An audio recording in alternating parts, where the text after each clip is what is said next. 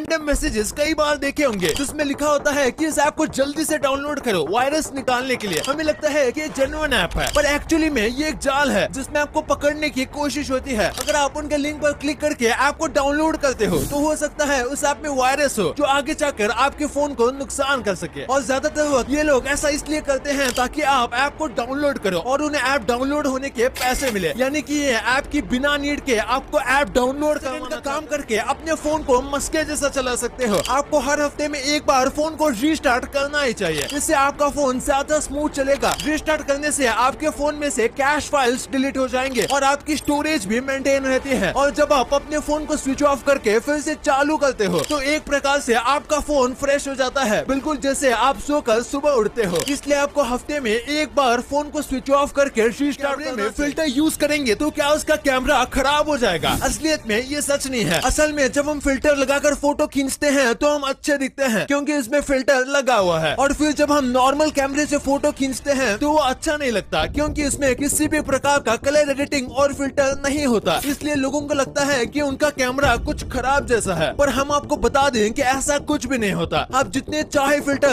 उतने लगा सकते हो क्यूँकी वो सारी सॉफ्टवेयर की चीजें हैं उसमें कैमरा बिल्कुल भी खराब नहीं होता